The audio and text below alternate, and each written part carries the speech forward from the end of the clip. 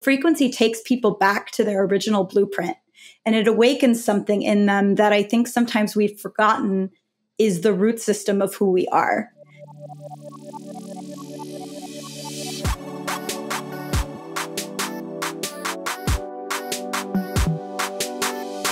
Hello, my loves. Welcome back to the Lavendaire Lifestyle Podcast. It's Eileen. So, today's episode is about sound, frequency healing, spirituality, undoing our conditioning, and coming back into connection with our soul. I really liked the guest today. Her name is Erin Eber. Erin Eber is an intuitive guide, frequency healer, and human design reader who, for almost 20 years, has guided people to experience expansion, flow, ease, and inner connection. She supports humans on an awakening journey to effortlessly ground in their divine essence and bring deep and lasting transformations into their lives. Her main modality, frequency healing, is a channeled gift using her voice that she was initiated into through her own healing process and has helped shift thousands of people into an expanded state of consciousness. Hello, Erin. Welcome to the show. How are you feeling today? I am so excited to be here. Thank you so much for inviting me on. I'm excited for you to be here too. I was telling you before this call that I found you on TikTok not too long ago and the power of TikTok to just like like instantly I was like, "Oh, she's so cool. I have to have her on my podcast." it truly is amazing that we have these tools now to like meet people that we may have never met in person yeah. before. I just love it so much. And it it just happened so fast. I was like, "Oh, she's she's ready to come on the podcast already." Like the fact that you like booked a time so soon, I was like, "Okay, let's do this." you know what? It just felt right. I looked at some of your further out times and I just went, no, nah, let's just do it. yeah. awesome. Okay. So, um, before we get into the interview, you mentioned that you like to kind of set the tone and demonstrate what, what you do and what frequency healing is. So I'll give it, I'll turn it over to you. Yeah, you know, I could talk about frequency all day long, but I always say the best way to understand it is just to experience it. So I think the really a nice thing to do would be to just bring us all into this moment. So anyone who's listening, you and I, bringing us all here together to sort of ground into whatever the perfect thing for each person listening to take away from our conversation is, whatever the perfect conversations that are meant to come forward today between the two of us can come forward. So I do like to tell people if you're like driving or operating heavy machinery, sometimes it's best to pull over for a second or take a minute. This is going to be a fast um, attunement, but I do think it's better if we can take a minute and close our eyes and truly tune into the frequency and the sound that's coming through. So, if we can take a minute to close our eyes and everybody listening can take a minute, you know, it's probably been a hectic day, whatever you've been doing, there's probably been a lot of things happening. So, let's just take this minute or two to tune in to the deepest part of ourselves, to call forward our deepest soulful truth and our hearts, and exactly the perfect way to show up for yourself right now in this moment might be. And we're going to bring through a couple frequencies to call forward this deepest truth within you, this most authentic and soulful you, to be fully present for yourself right now. And just allow these sounds to wash through you. And we'll leave one moment of silence at the end, and I will invite you back after that. And we invite these tones and sounds through now. And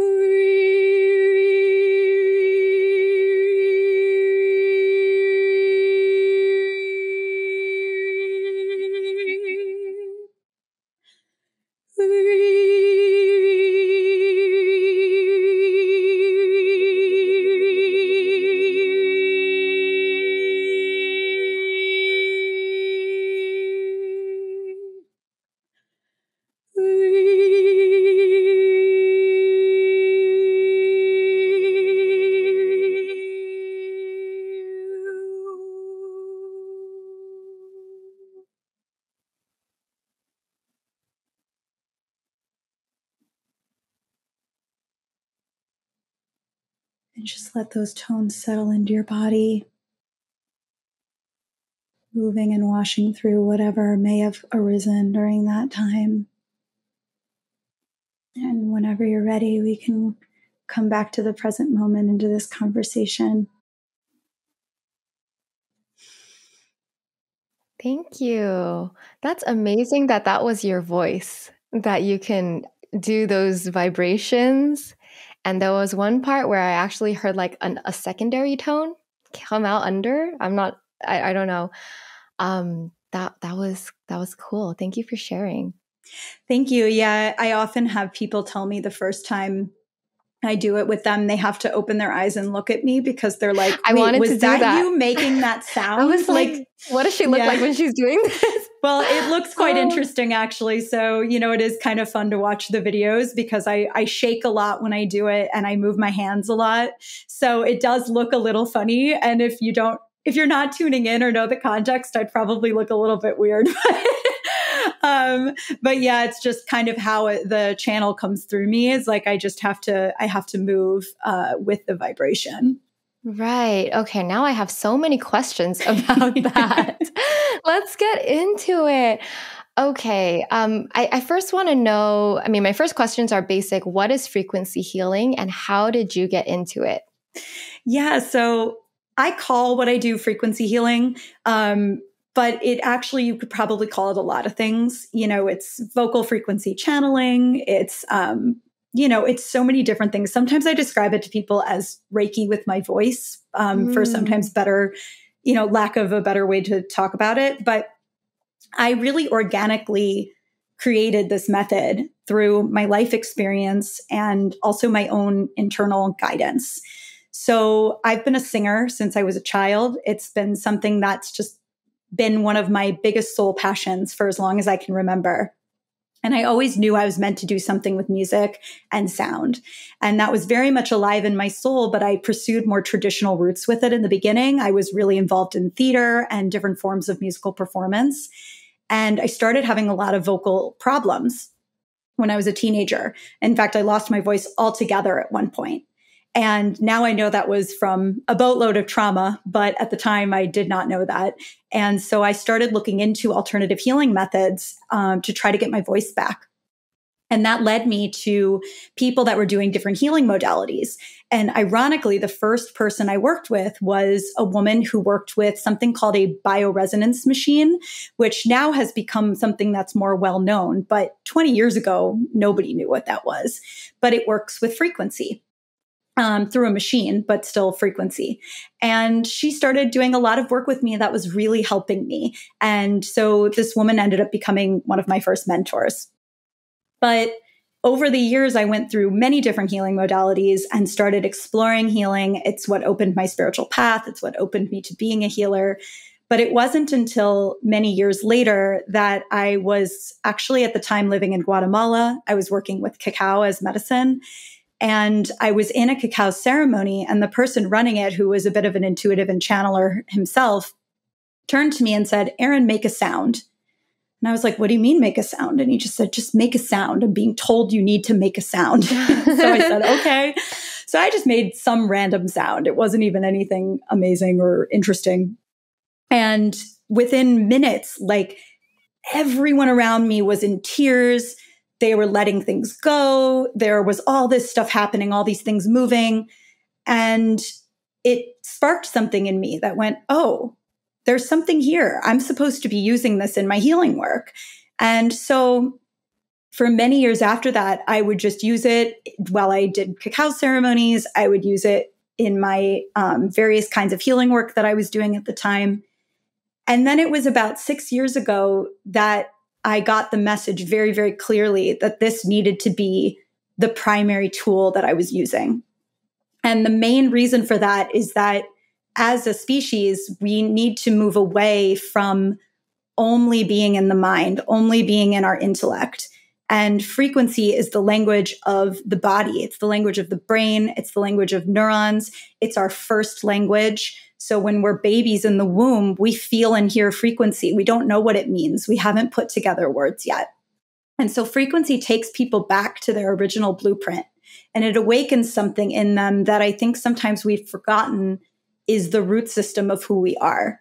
And so I've used the frequency as this way to channel what can't always be said, what can't always be understood, but people can then feel that movement within themselves and feel the awakening within themselves for the truth of who they are to be more present and more there.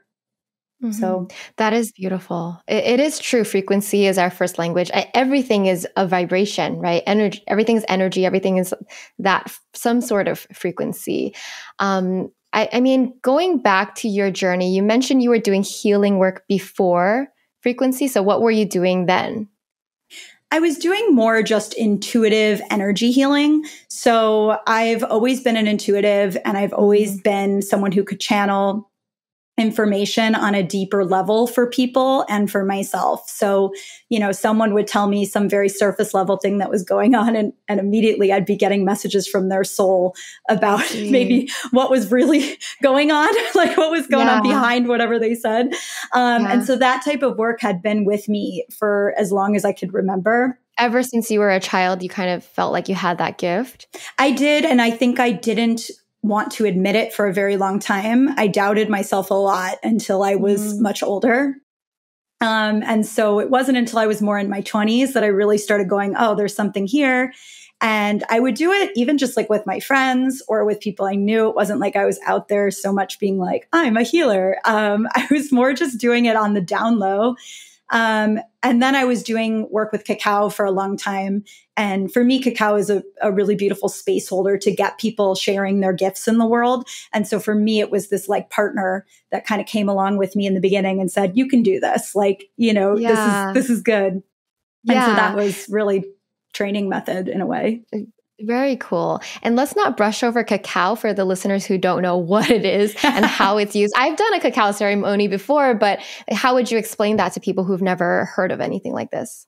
Well, a cacao ceremony can be so many different things um, because really working with ceremonial grade cacao, so cacao that's come from a really quality source where it's still in its whole form, it's processed minimally so that it maintains most of the active compounds in it, which is a definite type of cacao you have to seek out. You know, it's not like what you're going to go buy in the grocery store.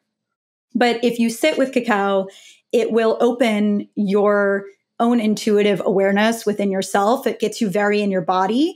And what I find is that it is a beautiful space holder for people to share their medicine with the world. So if you're a sound healer, very often you'll see cacao and sound. If you're someone who runs dance events, you'll see people do cacao and dance um, cacao and singing, cacao and sharing. You know, you can see it shared in many different. So ways. it helps you get into your body. And what what was the other part? Um, it can bring you more into your intuition and it moves your emotional body and really just tends to get people out of their head and into their. I see. I see. Okay, so back to you discovering the power of your voice. Um, you mentioned the first time it was like a random sound. Like my big my question when I'm hearing you do this is like, is this planned? Do you know what frequencies you're gonna voice, or does it just come to you and you just follow that intuition? It just comes to me, and very often the sounds will sound very similar. Like I have certain tones that I use over and over and over again, but I use them in different um, organizations, you know? So it's similar to like notes on a scale, right? There's only so many of them, but they get used in different ways and you end up making completely different songs. Um, and, you know, the way you use them will create something completely different. So that tends to be how I use it, where it sounds similar, but it's doing different things every time. So you're literally just being the channel, letting the sound flow through you. Because I'm like, where is this coming from? How does she like, like, what is the meaning? You know? Well, you know, if if I can get a little bit out there, and I feel like on this, yeah, go for you it. know, this conversation, I can be a little bit out there because I don't tell mm-hmm. necessarily mm-hmm. everyone these types of things, but I definitely feel it comes from another dimension that I feel mm-hmm. very mm. connected to, and it took me many years to really understand that and to really integrate that my soul was very connected to other dimensional existences and you know essentially star systems of other galaxies And so for me, this particular type of healing felt like I was given a gift from those dimensions and those galaxies. And it told me when it gave it to me, this is a very unique gift that is for you to use. That's very um, connected to who you are. And I think we all have those. And so this is something I love working with people on is like, we've all come here to bring really special, unique gifts from whatever our particular soulful story is. And I really love helping people know that about themselves and trust that about themselves. Yeah, love it. So, like you gave us a little preview of your sound, your frequency healing, but ha- what happens in like a full session? How do you help people? You know, how do you guide people through that healing? Yeah, so a typical session would be the beginning would be more talking because I like to have a conversation and tune into what that person is hoping to gain from our time together, what they are struggling with, what might be on their mind.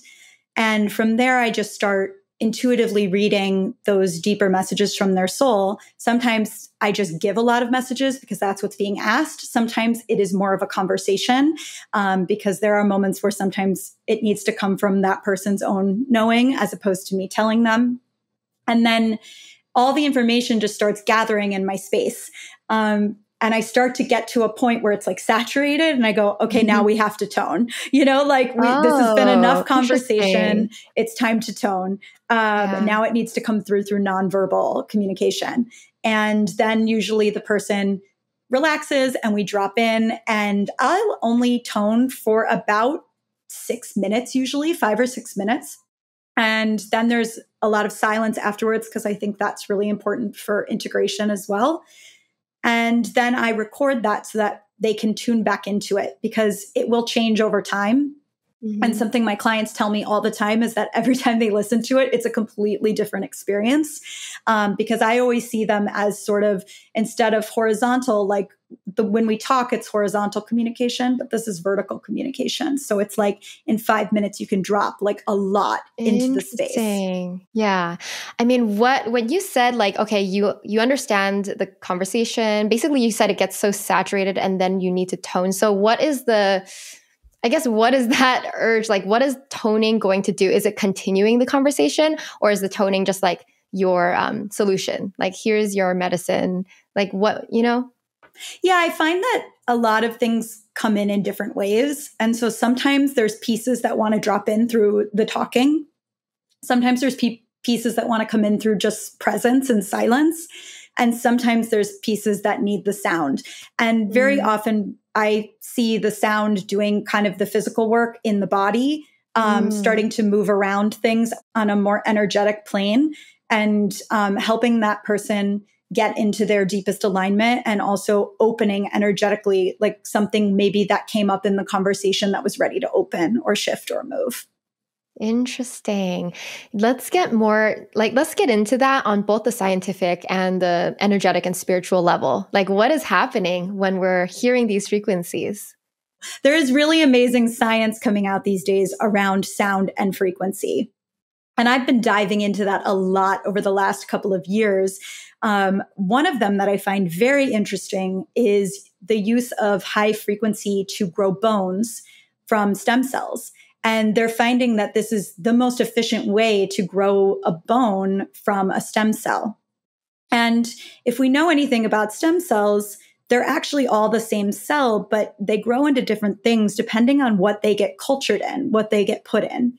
And so I think about this a lot when I do my work because I also study the science of water a lot as well and the way frequency and sound and vibration affect water, which is a whole different conversation, yeah. but that's a big one.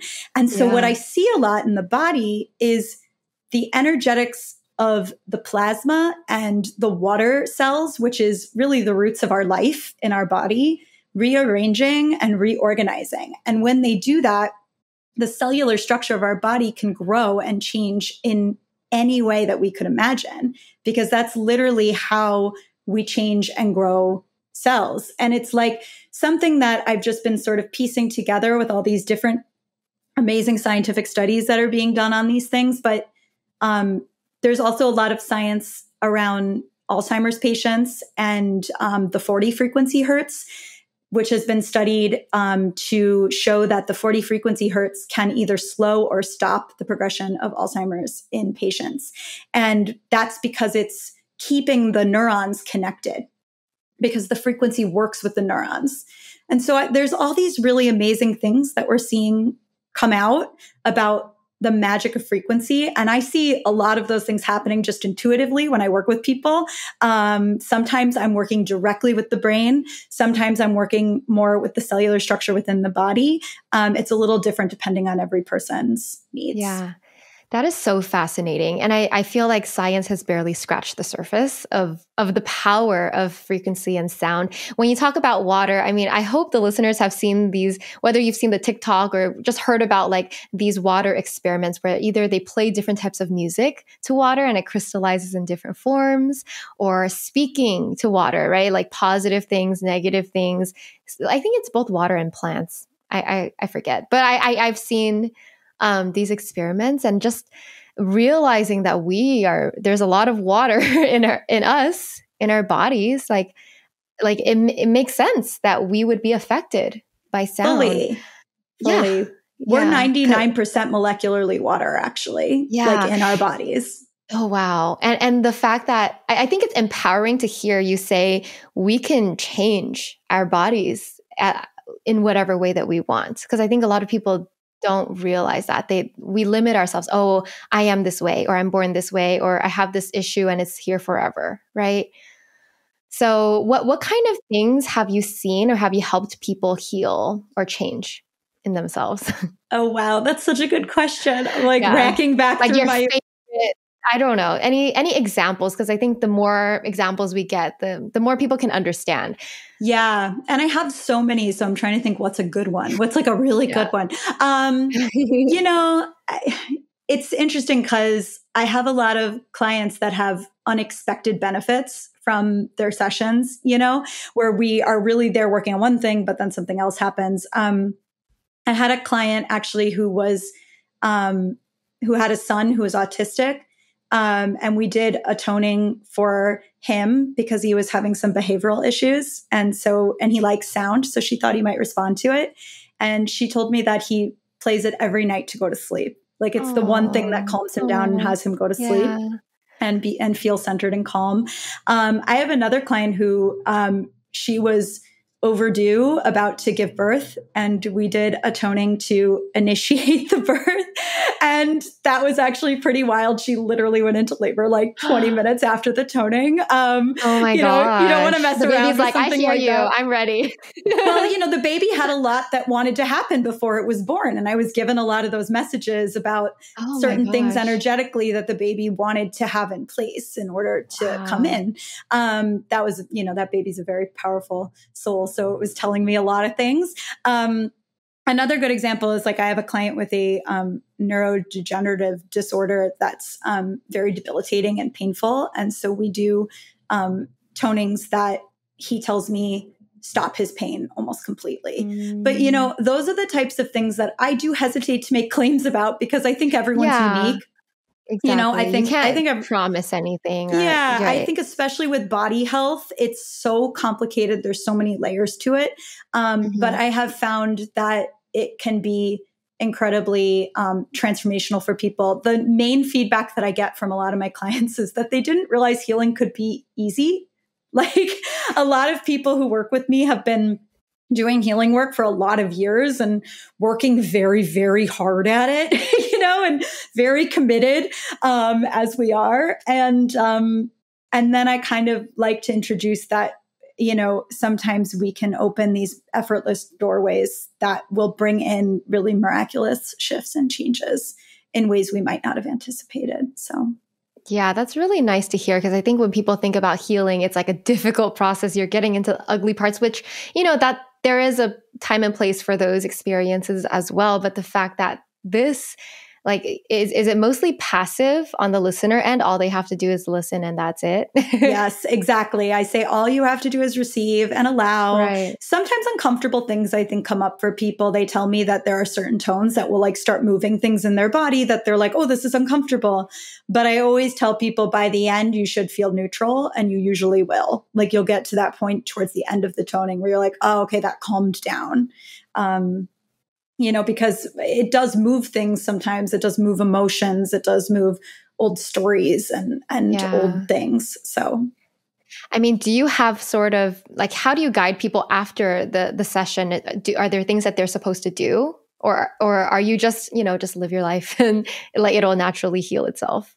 I really recommend people to tune back into the frequency recording at least daily or as often as they can for as long as it feels alive. That's what I always tell people. And then oh. I say, you know, oh. and then you may need to come in for another one, you know, but because sometimes it's like that's complete, whatever that part of it is.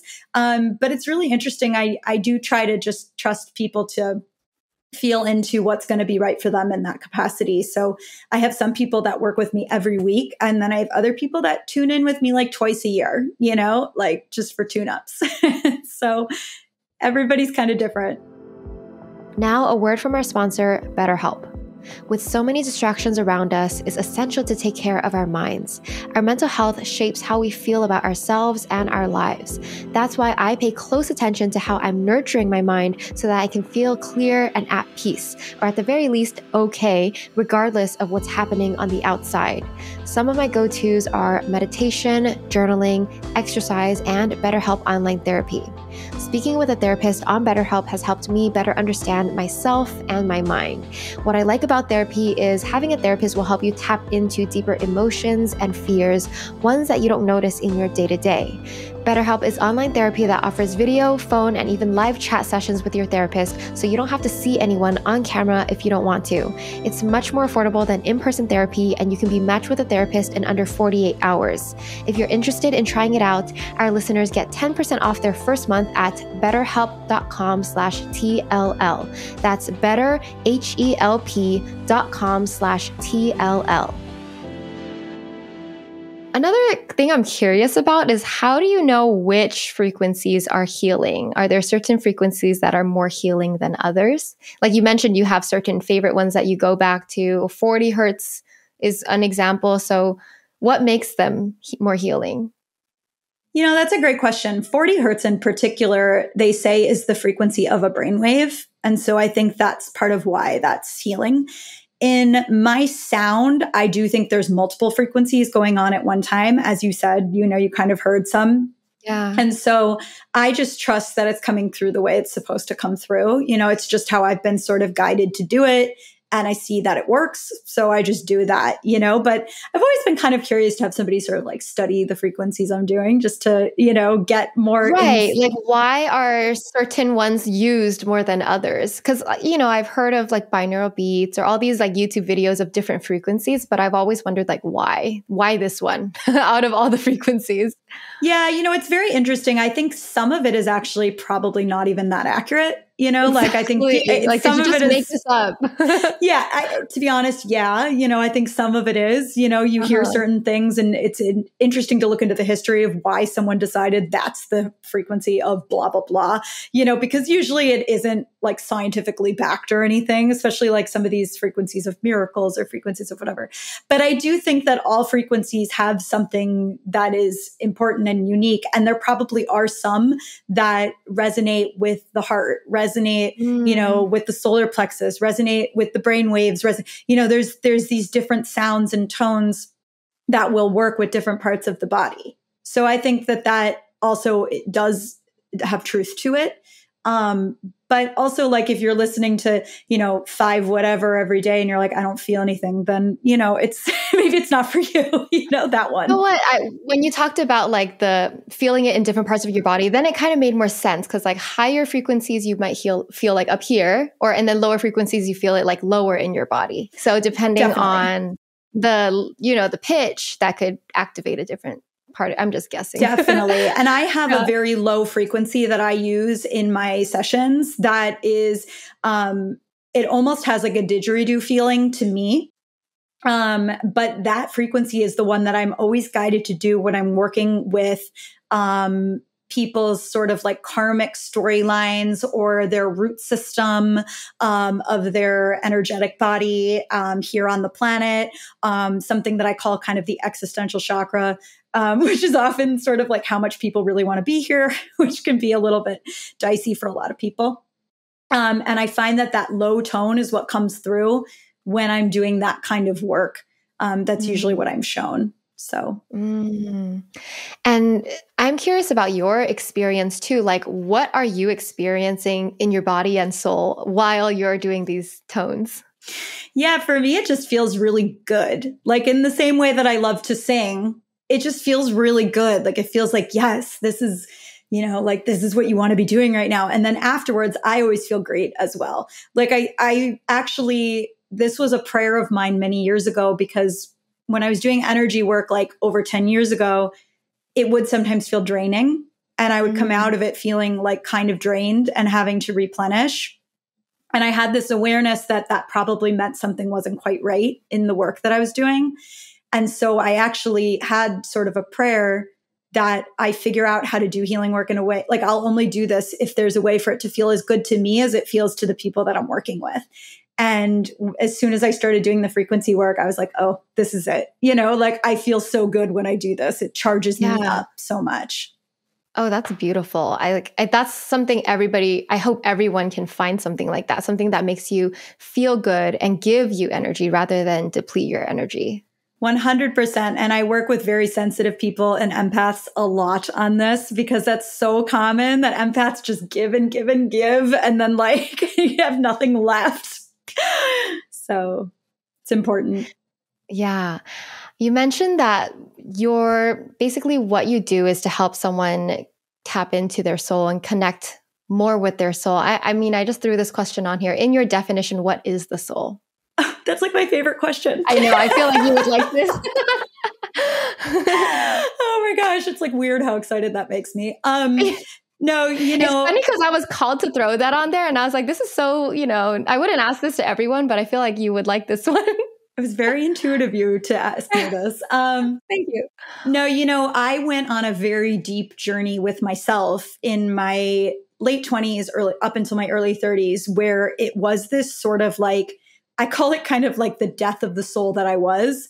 Um, I felt that I sort of went through this like decomposing process that was very, very painful for me. Um, but when I finally stopped, as I call it, bouncing on rock bottom with that, I came out in this space where I felt like I was in the most expansive space I'd ever been in in my life, the most peaceful space I'd ever been in in my life. And in that space, I watched my soul get kind of reborn within me. So I watched like, what it looked like to me from my sort of mind's eye was that this new light grid was installed within my body. Wow. And so, what that sort of taught me was that our souls are sort of like the intermediary world between nothingness and somethingness. And it's when this light, you know, we kind of have this world of nothingness that turns into essence, that turns into light, that turns into energy. And as it's going from something to, you know, to be presented in human form as we are, the first step is this sort of dynamic light grid that gets created that each person's is wildly unique. No one person's soul is the same. And it's obviously all from the same source of light, and yet it expresses totally differently in each person.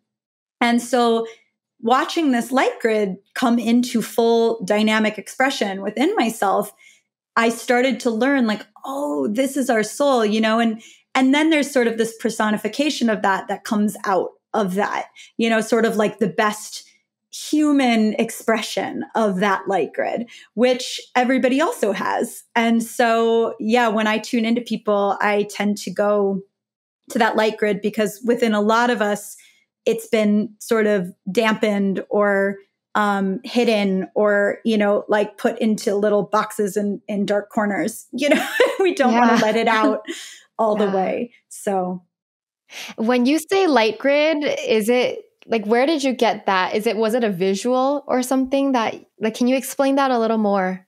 Yeah, so like what I the soul get, could be. yeah. yeah. I know words are just so limiting. I get yeah. a lot of imagery of things. That's one of the mm-hmm. main ways that I get information. And so that imagery was every time I would tune into myself during that time period, I just sort of saw empty space. Um, but then all of a sudden, one day, that empty space started glowing with like fuzzy light. And then all of a sudden, the fuzzy light started looking almost like a motherboard of a computer, you know, where it was like mm-hmm. there was like um, laser lights kind of like coming out of it. Um, and then all of a sudden, it went into like a much more dynamic, like uh, the lights being more direct and um, laser like. And so I went, oh, okay, my soul's come back on board. the energy is back for your soul. exactly, exactly. Uh, but yeah. I notice people, this happens a lot when people go through really big rebirths in their life, is that I'll watch the light start to get a little bit dimmer, you know, and then a lot of times people start going through really hard times where things get really difficult. Um, but really, it's because it's going back to the motherboard to be sort of recreated into something mm, new. And then right. it will eventually come back online. Right. And you said everyone's soul is wildly different, even though, yes, it's all from the same source. So, how do you weave? I mean, what are, how do, how do we recognize what makes us wildly different? How do we recognize what our souls are? You know, I think that is a really going to be a different answer for like everyone in a way, you know, but ultimately, I always say it is about unwinding a lot of the things that we've been taught that don't feel right to us and owning and stepping into what we innately know to be true about ourselves. And I find that underneath the layers of conditioning, almost everyone does. They know that. They know who they are deep down, even if we've been trained to forget for the millions of reasons that we get trained to forget. And it's almost like that's a little bit of the agreement that we make when we come to this planet. Like, okay, we're going to forget who we are. And then we're going to spend, you know, our whole lives getting back to that in a way. Mm-hmm. Um, and remembering that we are divinity at our core, remembering that our life is sacred, that we're worthy, that we deserve, you know, all, all of the magic in the world and it's one of those things that can sound a little hokey, but when we truly uncover that within ourselves, it's like you can never forget it. You know, it's it's been seen. And now it's you can't pretend that's not a thing anymore. So I think people often it's just about trusting what feels right to you and following those breadcrumbs of what innately feels in alignment and right for you and for whatever reason, that is one of the hardest things for human beings to do. it's what you said. We have so much conditioning. We have a lot of limiting beliefs. There's just, it's a lot of the things that it's a, a journey that takes a lifetime to understand and unravel. But that's, I think that's part of why we're here is to experience that and learn and grow through that. Yeah, definitely. It's like all a big experiment in a way, you know, to really own that, you know, knowing at the end of the day. yeah. Um, I'm curious for you, like, it, because we live in this chaotic world, there's a lot of things going on. Like you said, a lot of conditioning or this or that. What do you focus on? Like, in your life with your values you know what do you focus on to to stay grounded and kind of keep that inner peace or connection to your soul i think being in service is my number one focus these days because I find that if I can remember that that's the reason I'm doing everything I do and the reason why I'm here, then everything else tends to fall into place. Um, but I also, you know, try to remember, you know, the value of joy and play. That's very important to me. Um, I had a lot of years in my life where I was way too serious.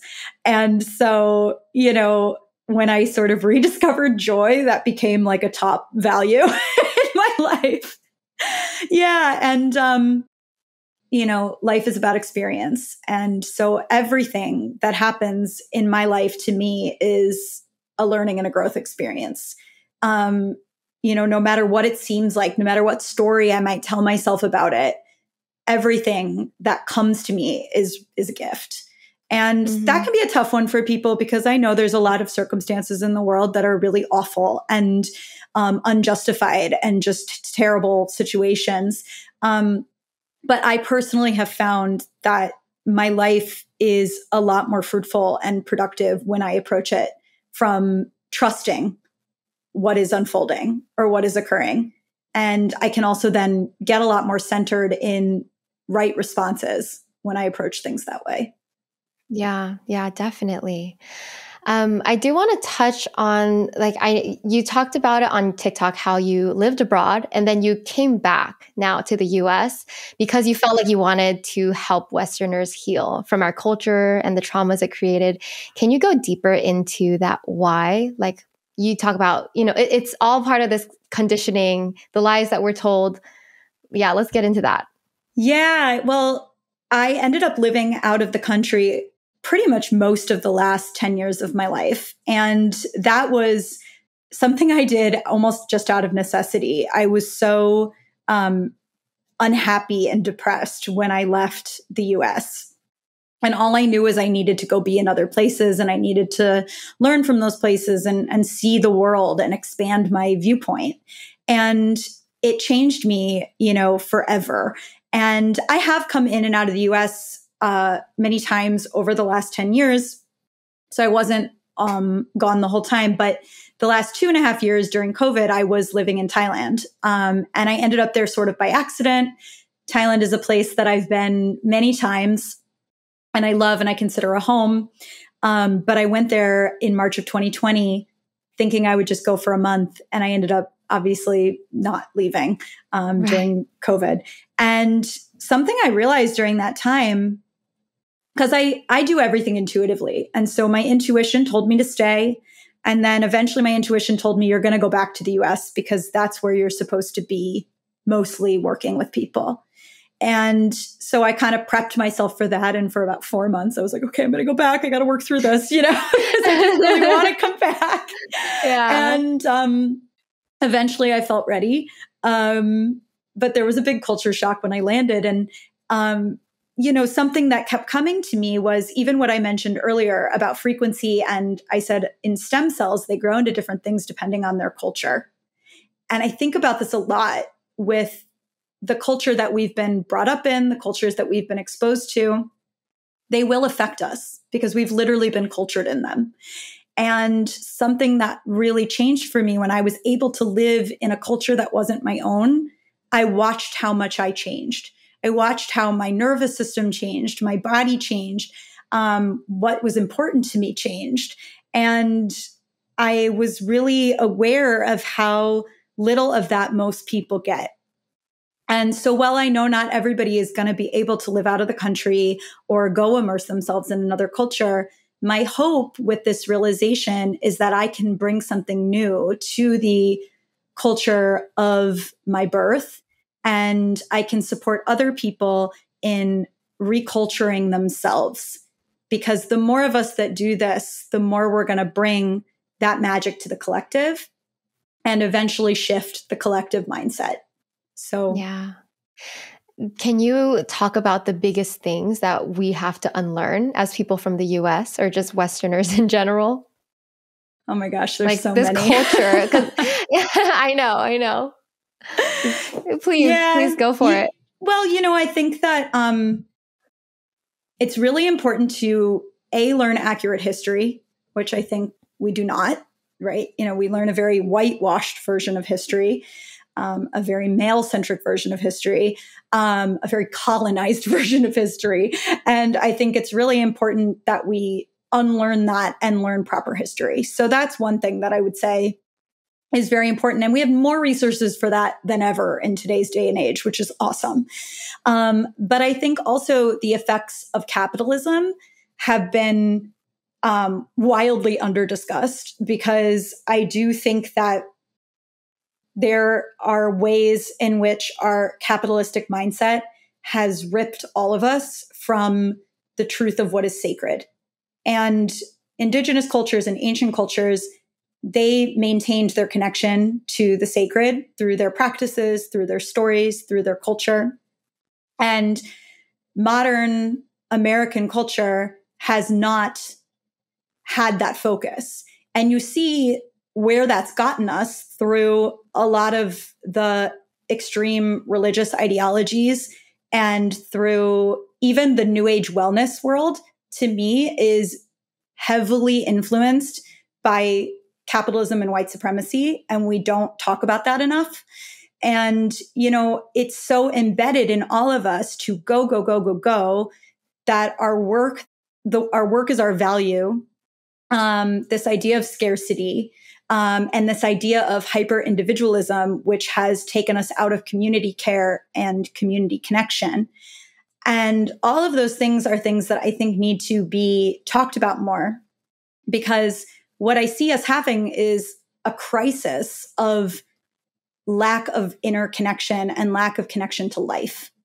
And that's playing out in a way that is actually going to really end up killing us in the end if we're not if we don't change that. Um, and you see that with the environmental crisis and also the way we treat ourselves and the way we treat each other. So these are yeah. huge, huge things. Yeah, that it, it it's hard because it's it is the culture that we grew up in. I think more and more people are recognizing that it hasn't been healthy. Like we've neglected so many things. We've neglected our souls. We've neglected nature. We've neglected like community, right? Um, yeah. I, I mean, where where do you think we need to start as the listener on an individual level? Well, I think two places. I mean, I think one, what I said before about all of us need to sort of relearn history and mm-hmm. finding resources for that is, I think, really, really important from like a logical mental level. I think that's really important because even though I come from the level of the soul with a lot of things, the psyche matters and we do need to mm-hmm. like understand those those pieces.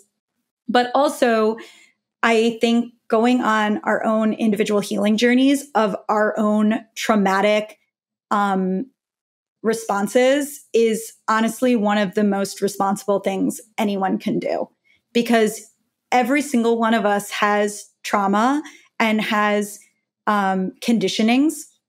And the more of us that are humbly showing up to shifting those things within ourselves, um, the better our world is going to be because it just brings more compassion and more understanding for all of us to actually hear each other and trust each other um, because we have a very hard to- time doing that if we haven't looked within to ourselves. Mm-hmm. So I think that going on your own personal healing journey um, and staying open and not ever thinking we've gotten to a place where we have all the answers because I think that can really backfire on us. Um, and then also, you know, taking that time to really learn. Um, I think all of those things are very helpful. Yeah, I think that was, I agree completely. You touched on something that I want to ask you a little bit more about was the how like new age spirituality and wellness is very whitewashed and capitalistic, right? Yeah. Um, go into that. I, I think we're starting to recognize that more and more. Um, yeah. Yeah, I think that that became very apparent during the QAnon rise. Um, it had been there for a long time, and it had been something that I'd been watching and sort of confused by for a long time because, you know, the way I got into the healing world was not through mainstream spirituality or wellness. And so for many years of my life, the only people I knew in that world were either like in their 60s or maybe a little bit quirky or, you know, not, yeah. Not like beautiful, perfect people on Instagram, right? Like that wasn't the world of spirituality that I knew. And so it wasn't until I was in my late 20s and I started traveling and living abroad and being in communities that were of seekers. Um, I started seeing this other side of the spiritual world where it was it was a little bit um, I call it sort of adolescent spirituality. It's like when you first get into spirituality and you're still approaching it from kind of like your wounding and the things that maybe haven't been looked at or dealt with yet. And that's a very normal stage of growth that occurs.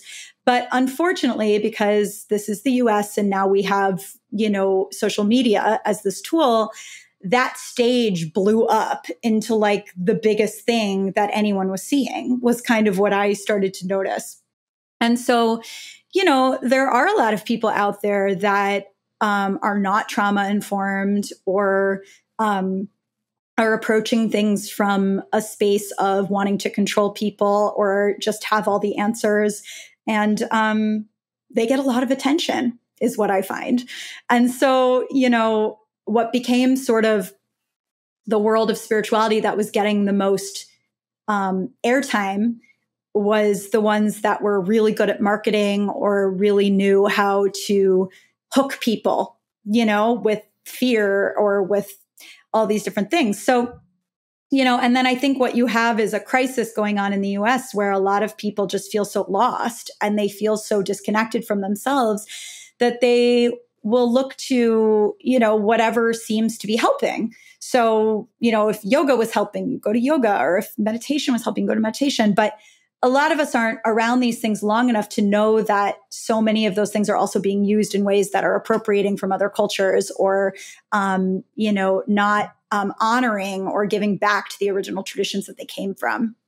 So, you know, I think it just sort of has gotten really out of hand. And um, thankfully i see more and more people talking about it. I see it becoming a more common discussion than it was like four or five years ago which i'm really grateful for um, because there are so many great healers out there and i really hate to see the healing industry get a bad name you know through some of the things that have been used in ways that aren't so great Right, right.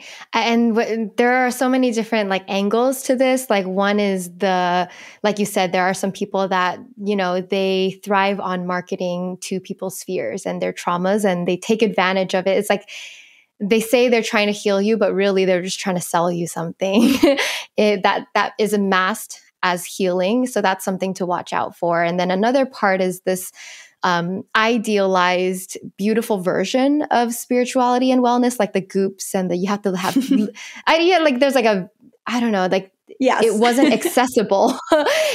like it wasn't accessible to everybody. It was It mm-hmm. just was another box, and it's yeah. I, I'm glad that we're talking about this more. Like I think yeah, I think we were still at the very beginning as as an American culture at the beginning of like understanding spirituality and wellness. And it's even with things like yoga and taking things from other cultures, like it almost seems like since since you're taking it from another culture, you're only you only know a fragment. And when you share that, it becomes an even smaller fragment. And then it kind of it distills into something that is not what it was supposed to be in exactly. the beginning. Yeah. And yeah, so there's there's that that we have to work on.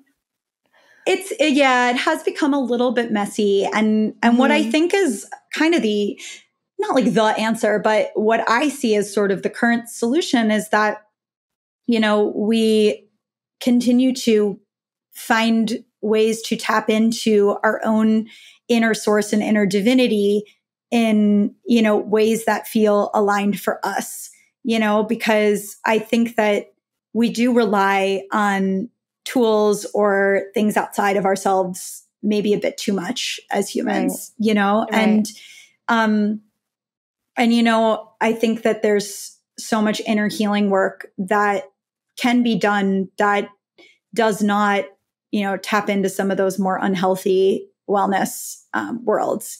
So, yeah, I think there are paths forward. I just think, unfortunately, it has also turned into something that's become a bit toxic in a mass scale. Hmm. I mean, I, it's. I think that's part of the journey as well. is going through the ugly parts. It's never wasn't going to be perfect, but yeah. I, what's a nice reminder is what you said is like we have that power within us. We don't really need to find our healing from anything external. Like all the answers, like we have. So. Yes it's yeah. sort of like that proverb that's like, don't look at the finger pointing to the moon, look at the moon. And I feel like that's a big thing that we forget on the spiritual journey, you know, is it's really common to see people give their power away. And it's something that I think we all go through in the reclaiming of our own source and our own power. Um, but I think that you know, that's where a lot of the toxicity has been able to get in is that, you know, people do sometimes coerced or convinced to give their power away for various reasons. And so, um, you know, just remembering your own innate power and that ultimately at the end of the day, you really know what's best for you and you know yourself better than anyone else, um, I think is really important on this journey. Yeah. Um, moving forward, um, what advice do you want to share with our listeners? Um, how do you want to guide them in terms of like connecting with their soul and, and moving forward with their spirituality journey? I think, first of all, just remembering that that source and that aliveness is available within you, even if you're not feeling it yet. Um, it can be a little bit of a journey and an unwinding to come into that wholeness within yourself and feeling that connection. But I guess I just want people to know that it is possible because, you know, I think I had a lot of years in my life where I really questioned is it even possible? Um, you know, I was so depressed and I really, what kind of kept me going was having teachers and guides that I saw were very connected and tapped into something bigger than their human selves.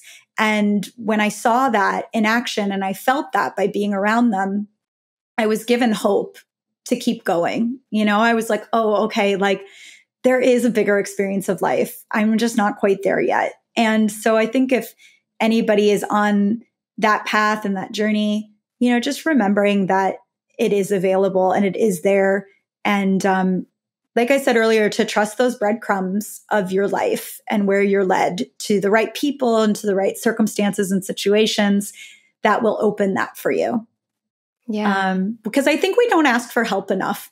That's actually something that I see in a lot of people um, is just like remembering to that the universe is working with you all the time. And you can literally just ask for things. You can ask for help. You know, you can say, like, hey, I'm really trying to figure this out. Like, please guide me to, you know, the right situations or the right answers, the right people. Um, and sometimes that's all it takes. It's actually pretty wild. So, yeah.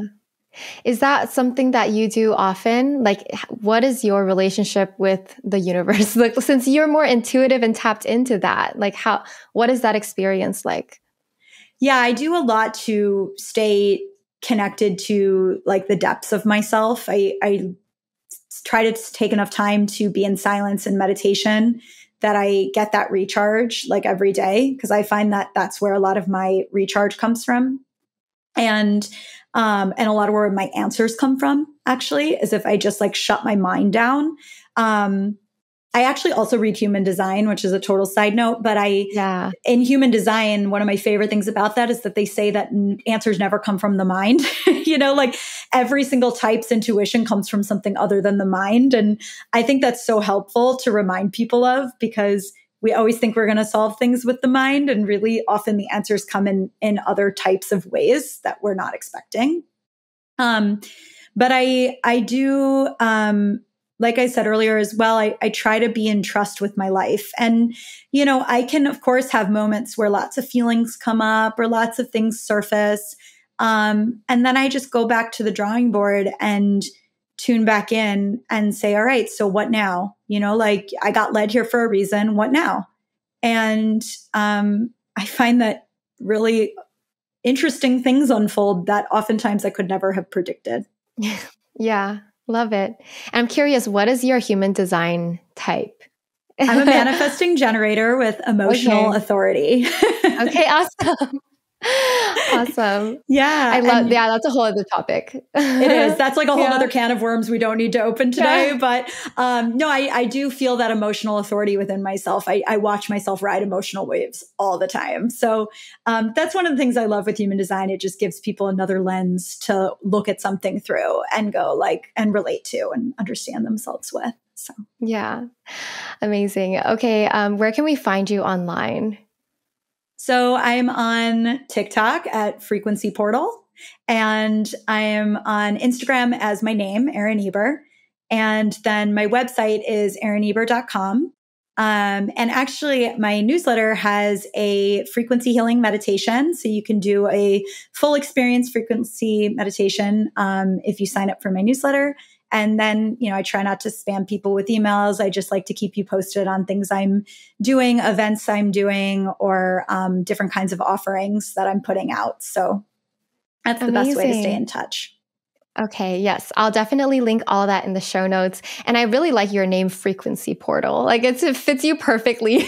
like you said, you're literally a portal between dimensions and bringing in a frequency from somewhere, somewhere we don't know where, but yeah. Oh my gosh. Thank you. Yeah, I, I, I like it too. I like to think like, you know, when people work with me, they're entering into the frequency portal. Love it.